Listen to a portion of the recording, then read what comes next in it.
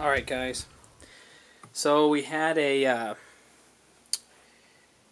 a uh, blackout and came home after after having a blackout and found out like my NRA sticker on the front of my computer there.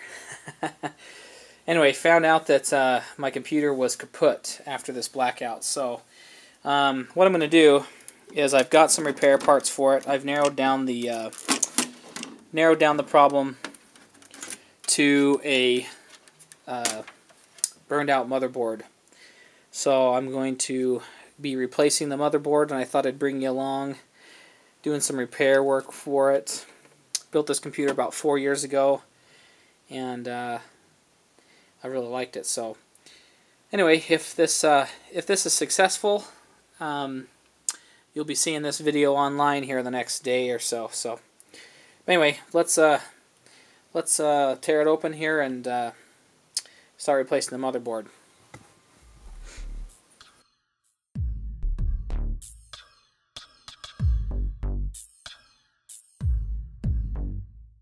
First thing you want to do is make sure that you've discharged any of your um, static from your body. You can do that by touching a lamp that's grounded, by touching um, the uh, a, a screw on a socket that's grounded, different things like that.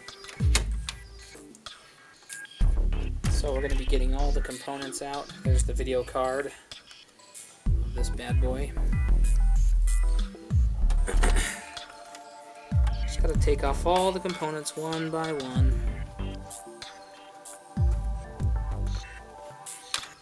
What a pain in the butt this is. I used to, probably not a lot of everybody knows, but uh, I used to uh, build computers and repair them. That used to be my job. And I'm pretty good at it. So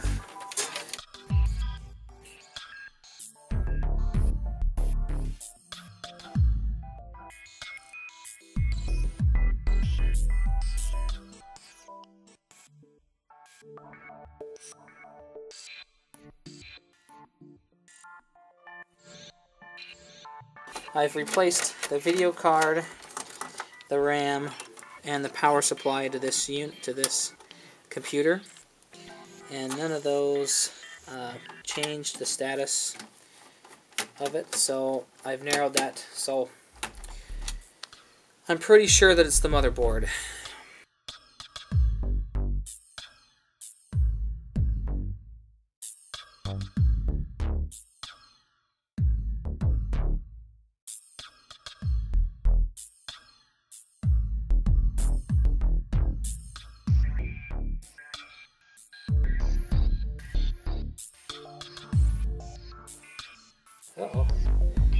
Myself on that fan right there.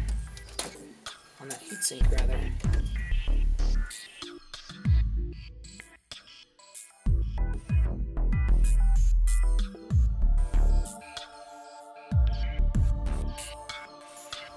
See that cut? That was on the, uh, the fins.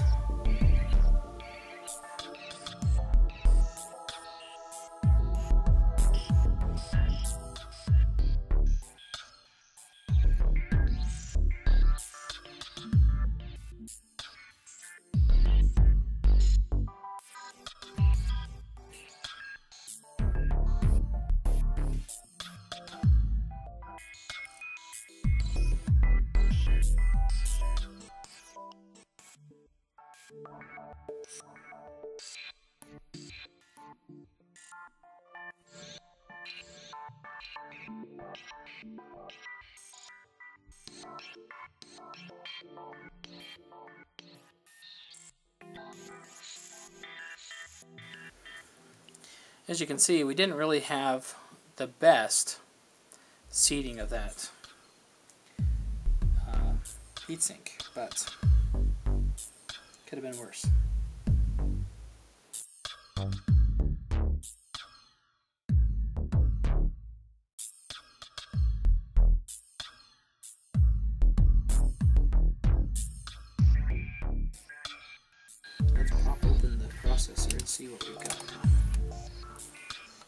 It.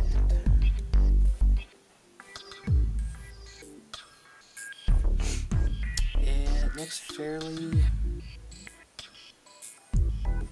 unmarred, so that's good. That is really good. Okay. And there is the heart of the computer.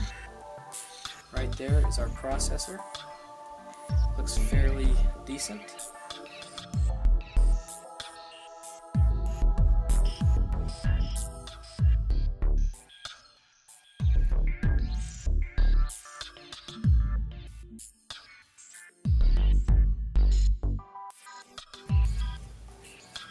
Cleaning the uh, processor, cleaning the coolant, or the um, thermal grease off of the, uh, this is, yeah, off of the processor here so I can reseat it.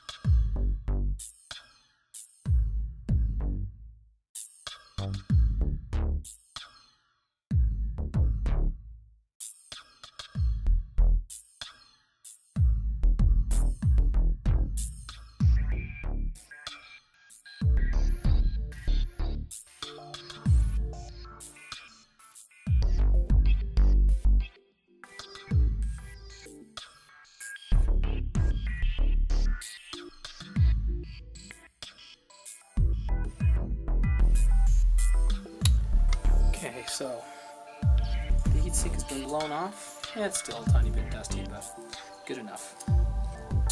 And the sink has been cleaned. Real well, the processor's been cleaned. And for thermal grease, I'm going to be using, yeah, if I can find it, some just some cheap stuff from Best Buy. This Dynex stuff. It's just uh, silver thermal compound. So anyway, that's what I'll be using to seat the processor as we go along here.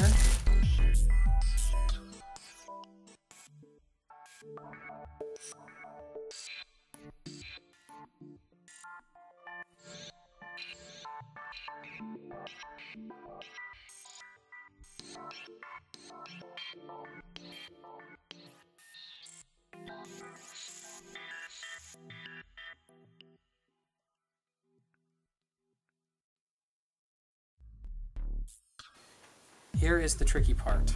So what we need to do is we need to get a nice solid spread of thermal compound around the processor.